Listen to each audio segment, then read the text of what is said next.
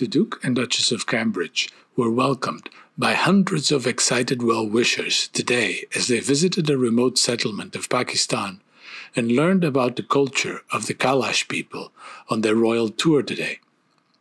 Prince William and Kate toured Bumburet in the Chitral region of the Hindu Kush Mountains, as they also watched emergency response drills in the village, which saw extensive damage from flooding four years ago. During their visit, they spoke with Diana, a young woman from the local area who was named after William's mother, Diana, Princess of Wales, whose grandmother traveled to Chitral to meet the princess on her visit in 1991. Princess Diana was visiting at around the time she was born, which is why she got named Diana, a translator said, and now her son is named William. Her grandmother went to meet Princess Diana in Chitral, her mom was unable to travel because she was expecting her.